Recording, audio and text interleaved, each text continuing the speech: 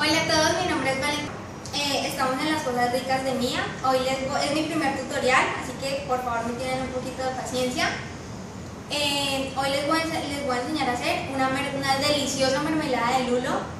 Eh, el lulo es una fruta que contiene, muchas, tiene, contiene mucha vitamina C, es antioxidante y sirve también para eliminar el, el ácido úrico. Es muy bueno para la salud. También nuestra mermelada contiene lulo que es un antioxidante que todos conocemos, perdón, contiene limón, es un antioxidante que todos conocemos que es muy bueno para la salud, también tiene un alto contenido de vitamina C. Eh, bueno, para nuestra preparación necesitamos dos lulos, no sé si en todos los países lo encuentran, pero por eso se los muestro, este es, este es el lulo, en mi país se consigue en, durante todo el año, de pronto en algunos países lo consiguen solamente en algunas épocas del año. Eh, necesitamos un limón, necesitamos un cuchillo, bueno este es un pelador de papas pero a mí me gusta utilizarlo porque tiene muy buen filo. Y con él se hace mucho más fácil pelar el lulo. Necesitamos una espátula eh, un exprimidor de limones una cuchara. Necesitamos una olla o sartén como lo quieran llamar para cocinar nuestra preparación. Necesitamos azúcar y una gramera. Es importante que la gramera no sea de, las grameras que, que, que, cuentan en pesos de 10 en 10, sino que sea de uno en uno, porque así tendremos eh, las medidas exactas de nuestra preparación, para que pues, quede bien hecho, porque si en una, en una gramera de 10 de pronto nos podremos exceder o podemos eh, poner menos cantidad de cada ingrediente. Bueno, entonces vamos a comenzar primero por eh, pelar el lulo. Vamos a pelar los dos lulos y los vamos a partir en cuadros muy pequeños. Bueno, para pelar el lulo cortaremos la parte de acá arriba. Es similar a como se, a como se pela un tomate. Vamos a cortar la parte de arriba y vamos a comenzar a retirar la piel. Solamente la parte naranja o verde, la parte blanca no es necesario retirarla. Después de que lo pelemos todo, vamos a partirlo, en, a picarlo en cuadros muy pequeños para que sea, pues, sea más,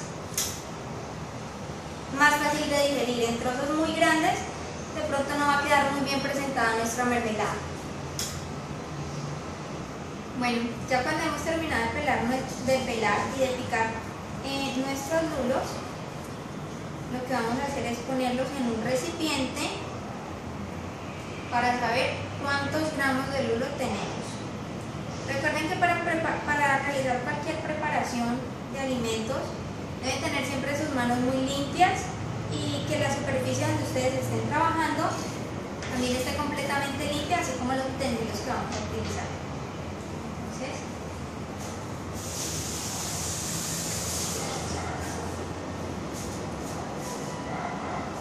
vamos a ver cuántos gramos tenemos.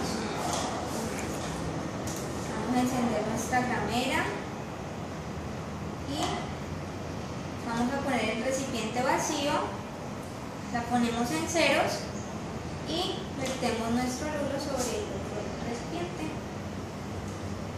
Bueno, aquí dice que tenemos 251 gramos de lulo. Entonces, vamos a tomar nuestra olla el lulo y por cada 125 gramos de lulo vamos a utilizar 90 gramos de azúcar. Quiere decir que en este caso vamos a utilizar 180 gramos de azúcar. Pueden utilizar azúcar morena, azúcar blanca, simplemente es azúcar común, la que sea de su preferencia. Lo que va a hacer el azúcar es aportarle ese sabor dulce y esa textura como, como gelatinosa a nuestra preparación, pues para que se convierta en una deliciosa y natural mermelada hecha en casa.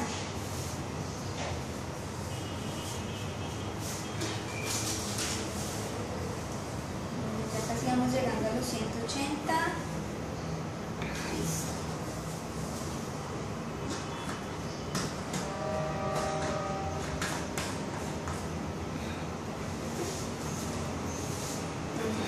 Ponemos el azúcar y vamos a partir nuestro limón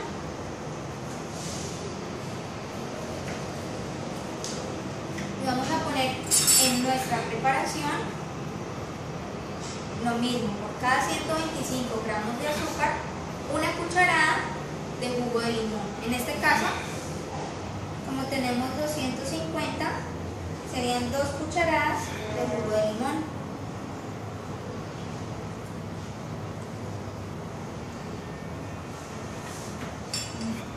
Encendemos nuestra estufa en otros países tiene otro nombre, la verdad no sé exactamente cómo se llama, pero encendemos nuestra estufa y con nuestra espátula, para no rayar el teflón de la olla, vamos a revolver suavemente. Si quieres puedes acercarte para que veas eh, cómo va quedando nuestra preparación.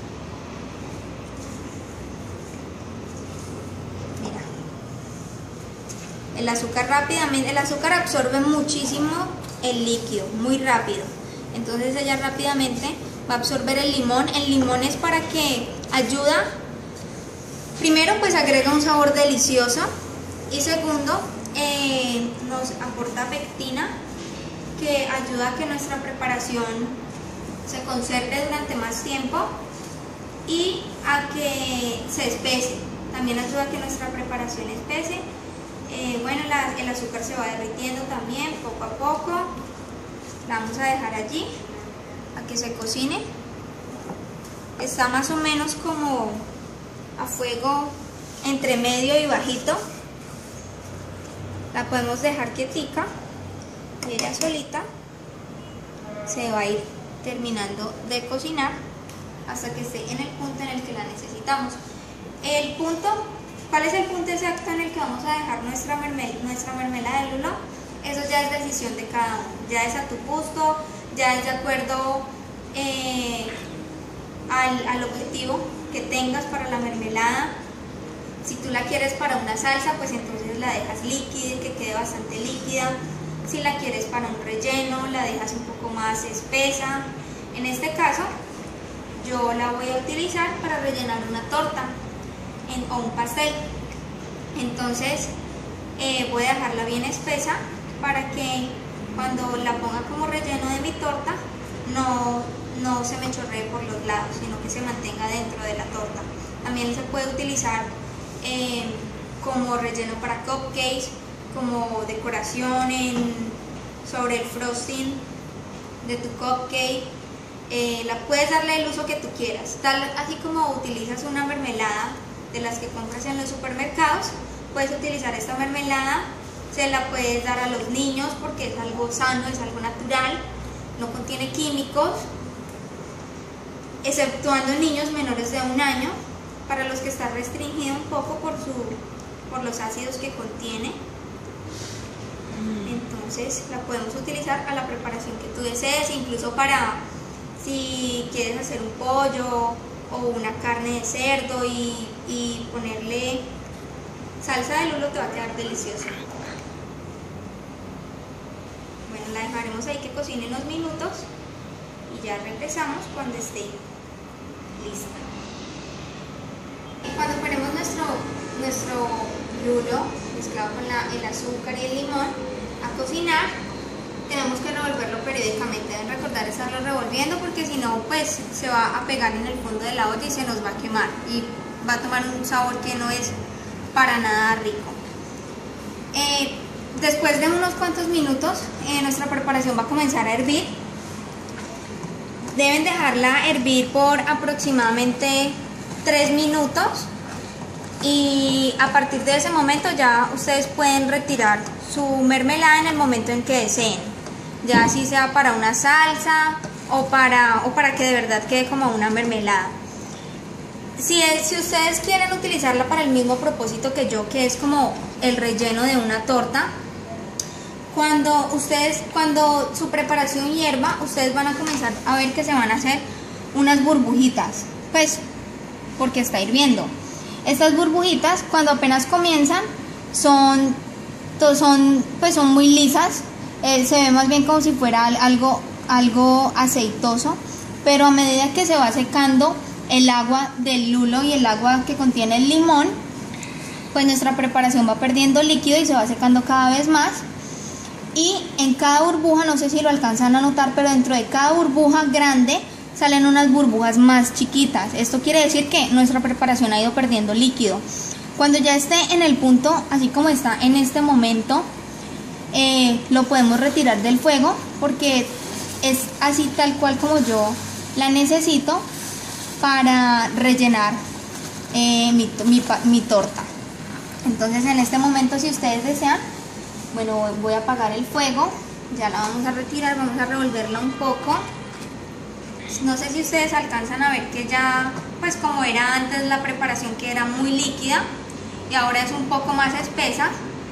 De todas maneras, como está, está sobre el fuego, bueno, estaba porque la acabo de, de apagar, estaba todavía también un poco líquida, pero ya a medida que se va enfriando, se va poniendo un poco más espesa, va tomando una contextura más muy similar a, la contextura de las, de las mermeladas que encontramos en los supermercados. Ahora vamos a pasar a verterla en un recipiente para que se enfríe y podamos meterla a la nevera. Si quieren pueden meterla al congelador, a donde ustedes gusten, a la nevera o al congelador, para que les dure un poco más. De todas maneras recuerden que es una preparación natural a la que se le agregó limón para que se conserve por más tiempo. Pues a ver, esta preparación yo la he tenido cerca de dos semanas en la nevera en perfecto estado. Recuerden que deben taparla con un papel plástico, no sé, no sé exactamente, papel film, se llama papel film, se me ha ido el nombre por un eh, la pueden tapar con, con, papel film o ponerla en un recipiente que tenga que sea con tapa y que nos pueda nos permita preservar nuestra mermelada por más tiempo eh, teniendo la aparte del aire del ambiente de pues de diferentes cosas que puedan contaminarla. En este caso yo la puse en este recipiente porque voy a utilizarla como relleno para mi, para mi torta. Y bueno, eso es todo. Aquí está esta misma preparación, pueden realizarla con la fruta que ustedes deseen, puede ser mora, lulo, maracuyá, fresas. De todas maneras, poco a poco yo voy a ir subiendo más videos eh, sobre otros, tipos, otros sabores de mermeladas para que ustedes los tengan en cuenta. Igual, de todas maneras, si ustedes tienen alguna inquietud, me pueden escribir. Muchas gracias.